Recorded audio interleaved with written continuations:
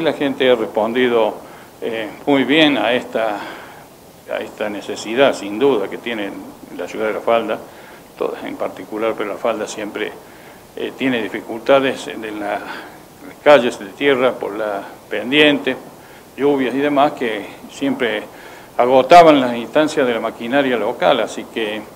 es una muy buena noticia que se vayan sumando este, todos los, vecinos,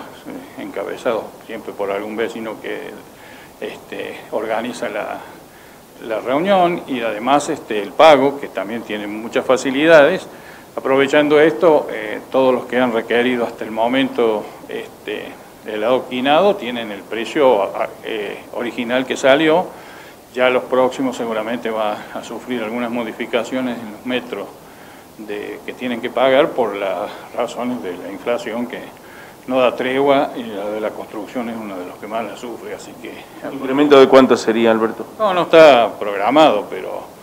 ya los tiempos se van acortando, eh, las recaudaciones, bueno, son en cuotas y demás, y bueno, eh, de esa forma, este,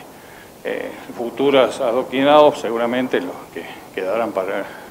hasta diciembre más o menos estaría cubierto las necesidades de la zona. Bueno, también se ha agregado, ustedes estuvieron presentes, una, la ciudad de Las Varillas también